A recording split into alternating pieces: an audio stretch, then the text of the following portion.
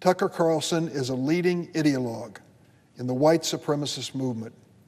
He's even introduced racist terminology into America's conversation, like the phrase, quote, legacy Americans, which refers to the idea that immigrants aren't real Americans. The phrase was first used on white supremacist forums and websites. Tucker Carlson is right at home with it. But here's what's most shocking to me.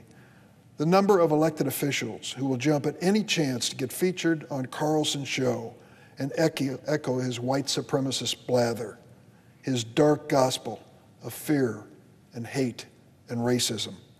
Many Americans will be tuned in this week to Tucker Carlson's show to see if he has any reaction to what happened in Buffalo. Could it be that for one shining moment, he will finally realize his complicity in what happened? 400 shows spewing fear and hate, subscribing this great replacement theory, resulted in hatred across this country, which is visited on communities every single day. 10 people died in Buffalo. Will Tucker Carlson take 10 minutes to say he's sorry for any role he might have played in that outcome? We'll see.